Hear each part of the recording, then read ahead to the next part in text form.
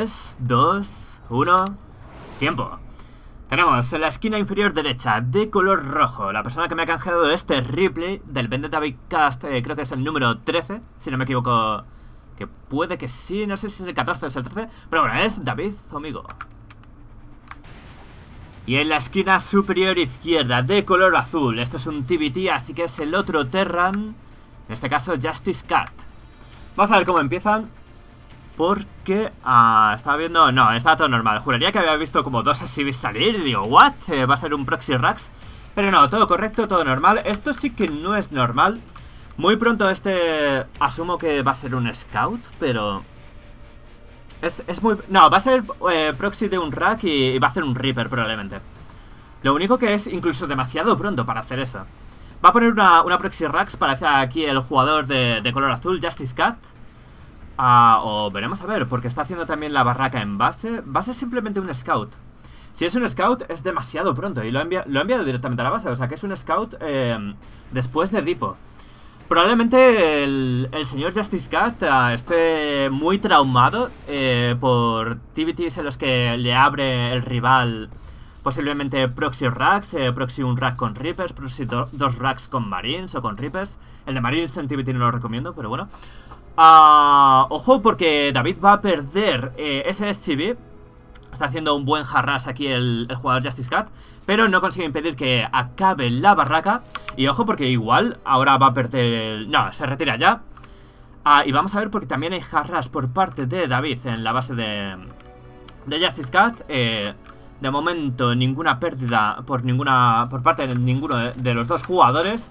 O eso era hasta ahora porque ese marín ha dado buena cuenta del scout de David que no ha llegado a ver el reactor. Y vamos a ver si ha llegado a ver.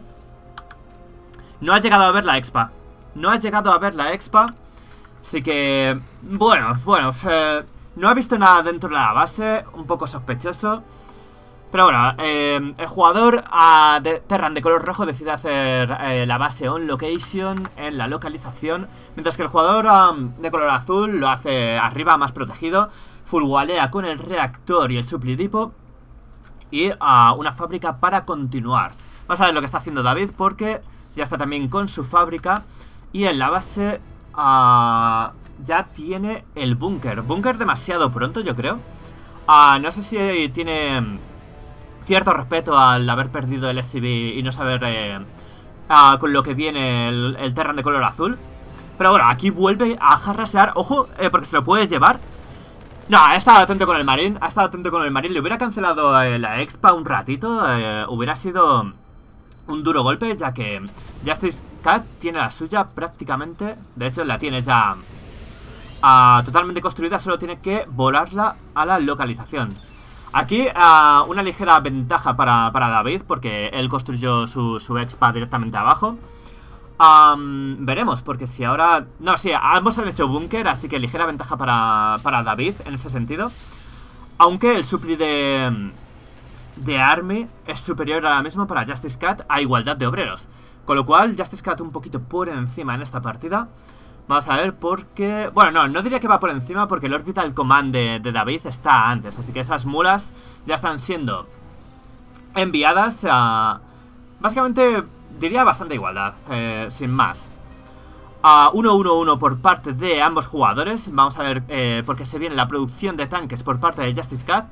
Mientras que el jugador Terran de color rojo, mientras que David ha abierto con un Cyclone. Eh, parece que se espera quizá algún tipo de, Raven tirando torretas en su línea de minerales o se puede esperar algún dropsito, alguna cosita y por eso saca su antiaéreo primero. Mientras que Justice Cat uh, también uh, defensivo en cierto modo con, ese tanque en el high ground. Uh, y ya vemos la decisión tecnológica. Eh, parece que Justice Cat, eh, después de ser 1-1-1, va a ir a full bio. Vamos a ver cómo está continuando a David con un triple sí Después de ese 1-1-1 Sé que la ventaja económica, si se sale con, la suya David, va a ser para él Pero el jugador Terran de color azul ha tirado el scam y ya está al tanto de que David está queriendo irse al macro Está queriendo irse por la parte económica Así que yo si fuera él, voy muy atrás eh, con esa tercera base. Iría directamente a hacer... a castigar. Iría directamente... Ya no a hacer un all pero sí haría un push temprano. Para castigar esta tercera base del Terran de color rojo. Las barracas eh, con este build uh, van muchísimo más tarde que las del jugador de color azul. Pero es esto, uh, si eh, Justice Cat permite que David se salga con la suya con esta tercera base, esto no va a ser relevante porque la ventaja económica va a ser tan grande que David luego va a poder em, hacer eh, sus unidades, va a poder em, aumentar su producción y, va a igualar. Tiene que castigar ahora mismo al jugador de color azul. Porque si no, David va a explotar en economía.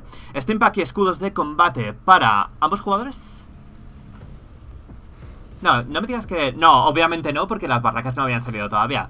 Steampack y escudos de combate muy tarde para el jugador David. Pero lo que yo había visto que me había confundido es el 1-1, que sí que está en camino. Aquí eh, tiene un timing muy importante Justice Cat, porque ambos van bio, pero Steampack y escudos de combate de Justice Cat van a llegar mucho antes, con lo cual va a tener una ventaja en, el enfrentamiento. Vuelve a, escanear para ver eh, más o menos cómo están distribuidas las defensas del Terran de color rojo, doble tanque Raven, algún que otro marín. Está gastando muchísimos scans, a ver... No, vale, este era un scan por parte de David, eh, un poco mimiqueando lo que está haciendo Justice Cat. Eh, tú me miras lo que tengo en mi, en mi base, pues yo te miro también a ti. Y parece que... Ahí está, sale el jugador de color azul. Tiene el timing para hacer bastante daño. Tiene Steampack y escudos de combate. El Steampack uh, y los escudos del jugador uh, Terran de color rojo. Uh, de hecho, ni siquiera tiene el Steampack. Ha empezado escudos de combate. Esto es un error. Normalmente prefieres empezar Steampack antes porque el Steampack tarda más en, en investigarse. El Steampack tarda más, los escudos de combate me parece que tardan como 90 segundos y el Steampack tarda, no sé si 120, me lo estoy inventando un poco. Así que normalmente lo que quieres hacer es investigar primero... Ahí está el Steampack. Ahí está, ahí llegó el Steampack. Si vas a hacer Steampack y escudos de combate a la vez, recomiendo siempre empezar por el Steampack. Porque tarda más en hacerse. Ahora mismo... Eh, vas a tener escudos de combate mucho antes que, el Steampack, uh, que te va a tardar bastante más. Tercera base eh, localizada ya para el jugador Terran de color rojo, para David. aquí Justice Cat ha perdido su ventana para hacer daño. Con estas dos médicas, viendo que, el, eh, que David tenía eh, su base... su segunda base bien definida con los tanques, hubiera hecho un drop aquí, que no tiene... Bueno, sí, que tiene visión, ahora sí, tiene una torre de sensores. Pero igualmente, aunque le vea venir, tiene que a mover todo, todo el army de su base... De su segunda base a su base principal, le da tiempo a dropear, le da tiempo a hacer daño. Ahora mismo ha perdido la ventana. Todavía no hay Steam Pack. Ojo, porque todavía no hay Steam Pack. Eso es por, por, lo que he dicho que era preferible eh, sacar primero el Steam Pack, porque ya lo tendría. Y se viene el enfrentamiento en la mitad del mapa. Vamos a ver por qué los tanques no están en posición. David con el comando mover en vez de comando atacar. Los tanques han sido colocados muy tarde, pero la superioridad en Bayo en números por parte de David le va a dar eh, la victoria en este enfrentamiento. El supri de Justice Cat está cayendo en picado. Todavía hay un Raven para uh, inutilizar cualquier tanque, para tirar torretas, para apoyar. Y yo creo que debería utilizarlo para inutilizar este tanque y acabar con la partida, pero no. Ya tiene Justice Cat eh, un segundo tanque en la base, en la segunda base. David, que sabe que tiene que retirarse, no tiene los números ahora mismo. Tercera base ya en localización para Justice Cat, que ha perdido un enfrentamiento muy importante. Va atrás en economía. Está atrás en todos los suplis posibles, en ejército, en workers. David que se hace con una bastante sólida ventaja en la partida. Ya tienes eh, Steampack escudos de combate. El más 2 de ataque que está llegando por parte del Terran de color azul, por parte de Justice Cat. Uh, Orbital Command aquí que, llega también para el jugador de color azul. Pelea aquí encarnizada de scans. Eh, el scan de, de Justice Cat eh, supongo que sería para ver si continuaba la agresión y demás, porque no tiene mucho sentido. Yo, para ahorrar un scan en, ese, en esa situación, hubiera simplemente estimeado un marín y te ahorras eh, los 300 de mineral prácticamente que has perdido de tirar de scan. Pero ojo porque se viene el siguiente enfrentamiento otra vez, comando mover para David que pierde un tanque completamente regalado, pero Justice Cat tampoco estaba en posición, los tanques han sido completamente destruidos antes de, colocarse. Esa tercera base tiene que ser evacuada. El supli de Justice Cat, que está cayendo completamente picado, ya son 50 de diferencia.